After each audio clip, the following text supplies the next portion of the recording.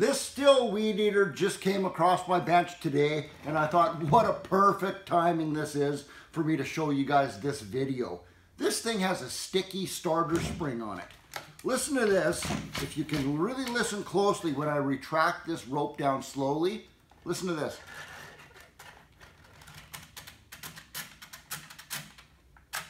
I hope you could hear that right there. That is a sticky starter spring. It's probably got a little bit of rust inside of there. It's dry. It needs to be lubricated. Let's do this one more time. You can hear that. Just, oh, that's bad. And look at that. Sometimes the rope won't actually even retract in all the way because it's so sticky.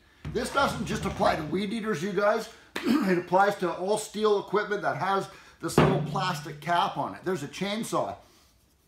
It's got that little plastic disc on there, the uh, uh, dust cover, um, easily removable. There's a blower, BG86 uh, blower right there, plastic cap on there.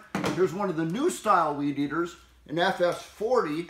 Same thing, it's got that little plastic disc on there.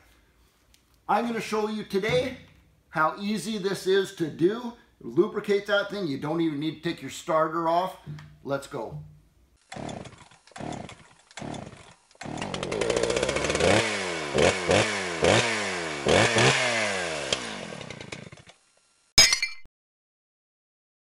Welcome back to Steve Small Engine Saloon, guys. SteveSmallEngineSaloon.com. There's my website right there. Check it out when you get a chance. Got some clickable links up here for you in the information button. As well, stay tuned for the end of the video. I got some clickable thumbnails there for you at the end to get you back to some other really awesome videos too. What you need for doing this, you need a can of lube spray, you need a little flat screwdriver, and uh, oh yeah, you also need a beer. If this job takes you half of a beer to do this, I would be surprised. It's a quick, easy fix to do on this. Um, as a matter of fact, it's so quick and easy. I'm going to put this actually in my Fast Fix playlist. If you guys want to see the other stuff I got in my Fast Fix playlist, I got a link up here for you again, the information button, as well as at the end of this video to get back to that playlist. So we're talking about this little disc right here, this little removable disc. A lot of guys don't even know that's removable. Check this out. You take a little flat screwdriver, and you work it in around the edge like that, and you can start popping that thing out.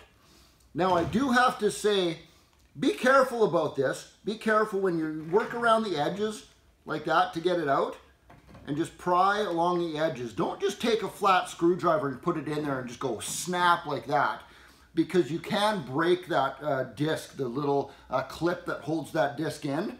You can break that.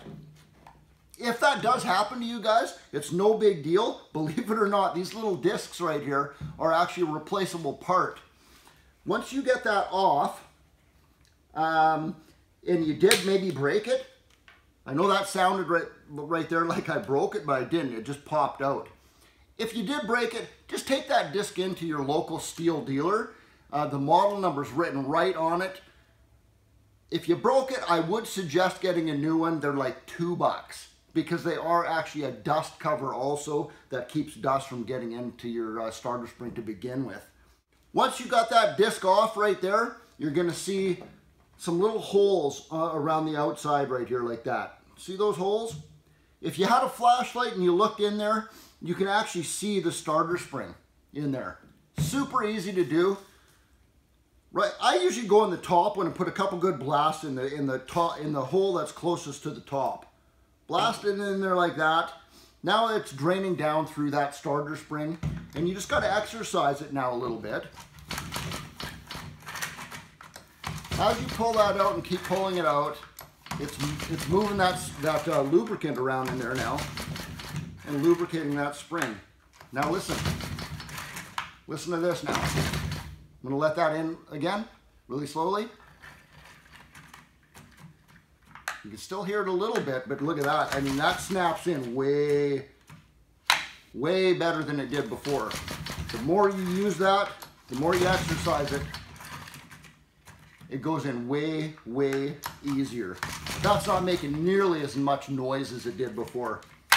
That's easy to do, you guys. So easy. Pop that cap back on there. It just snaps back into place like that.